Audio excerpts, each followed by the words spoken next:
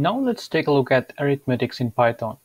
So I'm going to define a value k by means of the multiplication of x, which is 10, y, which is 20, and z, which is 30.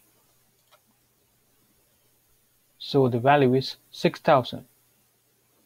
And then let's create value j by adding x, y, z.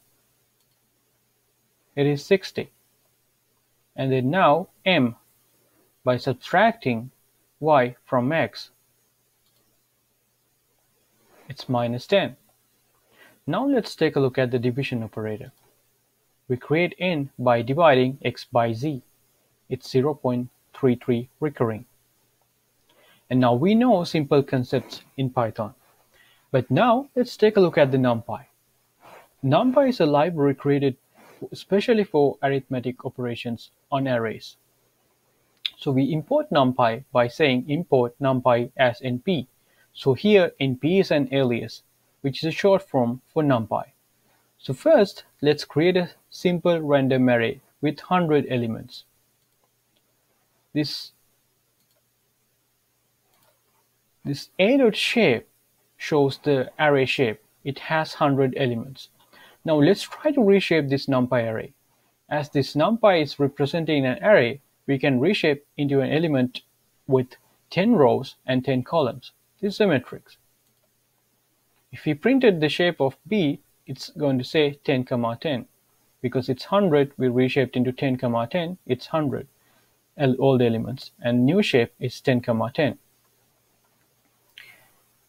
And let's manipulate the array elements.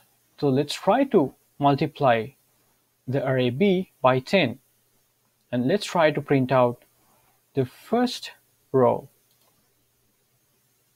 So this is C0 index, it has these set of values. You can change here, you can get the next value. And as this is a 2D array, because it's 10 by 10, we can retrieve one element in the subarray. It's 7.9.1. So if you remove this one, can see we extracted this value by saying the next index 0. Let's try to take the mean by the axis 1 of the array B. And let's print C value. It's going to say 10. So these are some of the examples in Python. So before getting started with advanced examples in Colab, we recommend you to try this tutorial.